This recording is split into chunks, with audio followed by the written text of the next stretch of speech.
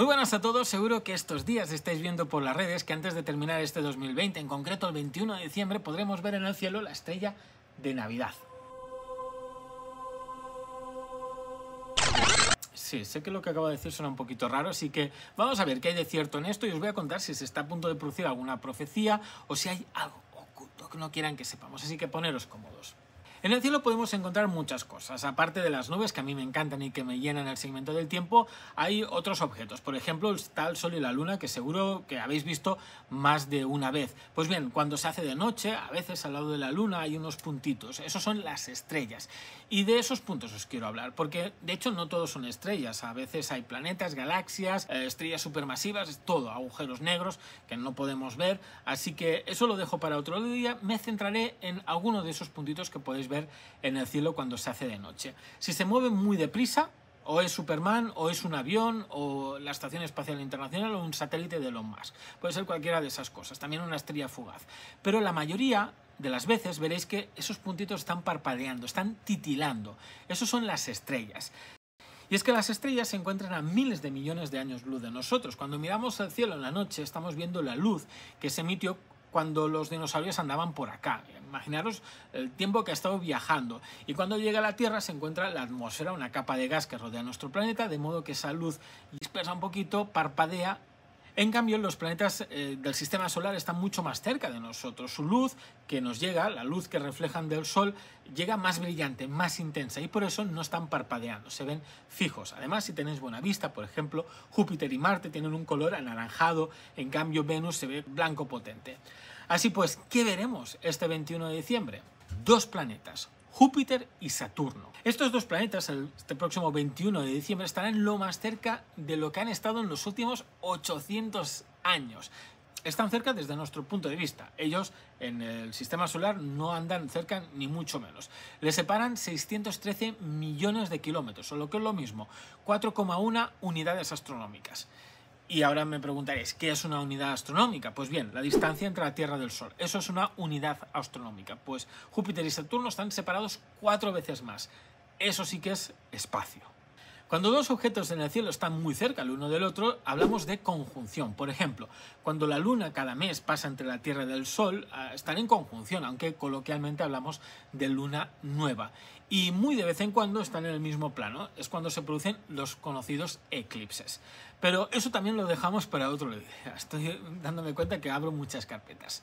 Ahora que ya queda claro que es lo de la conjunción y qué dos objetos están en el cielo, os podéis preguntar, ¿esto ha ocurrido en el pasado? Y la respuesta es sí. De hecho, esto ocurre cada 20 años, más o menos. Júpiter y Saturno se ponen en conjunción. Esto se debe a la diferente velocidad que tienen estos planetas cuando viajan alrededor del Sol. Lo que esta vez eh, es excepcional es lo cerquita que los vamos a ver. Y eso sí que ocurre muy pocas veces. Pero atención, eso ya ha ocurrido también en el pasado. En 1623, mientras los peregrinos que llegaban a América se hacían con las tierras, en Inglaterra se estaba publicando las obras de Shakespeare, en el cielo, allí, en medio de todo ese alboroto, Júpiter y Saturno se acercaron tanto como lo van a hacer estos próximos días. Así que eso lo hemos visto en el pasado y ese mismo año hubo un astrónomo matemático y alemán, Johannes Kepler, a cual este fenómeno no le pasó desapercibido. Es este tipo que ves aquí con la barba y el compás. Otro día os hablo de él y de su amiguete Tycho Brahe porque entre los dos establecieron las leyes sobre el movimiento de los planetas alrededor del Sol y eso sí que da para otro vídeo como este. Además, Kepler da para una película o serie de Netflix. Eh, tuvo una familia en decadencia. Sus padres le despertaron de pequeño el interés por la astronomía, eh, igual que ocurría con la protagonista de la película Contact. Le mostraron un cometa, él quedó fascinado. A los pocos años, cuando tenía cinco, vio el primer eclipse de luna. Pero sabéis que su padre se metió a mercenario, se fue al ejército, nunca regresó y él tuvo que trabajar como agricultor para pagarse los estudios de astronomía y convertirse en el gran astrónomo Johannes Kepler. A lo que iba, a Kepler no le pasó desapercibida esa conjunción e hizo sus cálculos. Con sus leyes recientemente formuladas, vio que esa conjunción eh, había ocurrido en el pasado. Lo único que tenía que hacer era retroceder y llegó al 4 de marzo de 1226. 1226, más de 800 años atrás, es tela. Eh, para entonces se empezaba, por ejemplo, a construir la Catedral de Toledo, nacía Gengis Khan o moría Francisco de Asís. Mirad eh, en qué época estábamos. Si retrocedía más, incluso podría llegar a coincidir con la llegada de Cristo. Y esa conjunción podría ser la estrella de Belén. Kepler descubrió algo sorprendente al año siguiente. Encontró un monje polaco llamado Laurentius Susliga.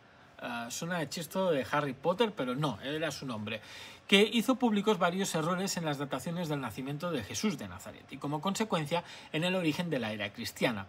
Hasta entonces la Iglesia había dado por bueno los cálculos que en su momento hizo Dionisio el Exiguo, un abad romano del siglo VI que había fijado el nacimiento divino en el año 753 después de la fundación de Roma. Pero según el jesuita Susliga, eh, Cristo había nacido cuatro años antes del propio Cristo.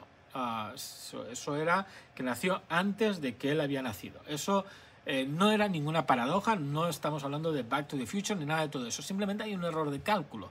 Y es que los errores hoy los conocemos bastante bien por las dataciones romanas como los textos de los evangelios. Los errores son bien conocidos, tanto por las dataciones romanas como por los textos de los evangelios. El emperador César Augusto reinó cuatro años con el título de Octavio y además se había empezado a contar eh, su reinado en el año 1, porque en la Europa medieval no existía cero, eso fue una herencia de los árabes. De modo que Herodes era el rey de Judea cuando nació Cristo, pero ya había fallecido en ese momento porque eso ocurrió cuatro años antes de que él hubiese nacido. Y ahí están todos esos errores. Eh, por ejemplo, el censo que ordenó Roma, que obligó al viaje accidentado de María y José, tuvo lugar entre los años 8 y 6 antes de Cristo. Por lo tanto, hay ese claro error en las fechas. Cuando Kepler tuvo todo ese conocimiento, llegó su conclusión atando cabos. Y es que solo había que restar 4 o 5 años a la triple conjunción que él había calculado con la mayor de las precisiones que se podía en la época. Los astros se habrían juntado en el cielo hasta tres veces durante el año de la encarnación divina. Y eso no habría despertado el interés a unos reyes magos bíblicos fascinados por la astronomía. Pues bien, eh, no habría una conexión singular Así que algunas hipótesis apuntan a que sí, que realmente existió la estrella de Belén. Puede que fuera una combinación de fenómenos astronómicos, como la propia conjunción que os acabo de explicar, o una ocultación de Júpiter tras la Luna, e incluso la explosión de una estrella, una supernova, que también en esa época unos astrónomos, en este caso orientales, llegaron a datar en el año 5 a.C.